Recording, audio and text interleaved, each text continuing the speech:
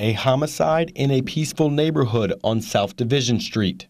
It's shocking because uh, we've heard it, you know, in a lot of different places other than here, but seems like me, it's right in our back door now.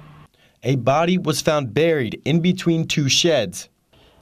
I had a dream about it last night. I mean, uh, something. I guess it just stays and The Maryland State Police arrested 47 year old Douglas Harlow at the Salisbury Trailer Park last night. He's charged with murder. Multiple interviews, evidence collection, and cooperating witnesses.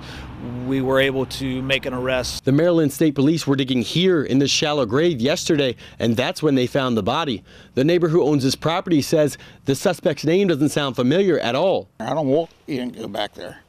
So to look there today, it's 90% on my side.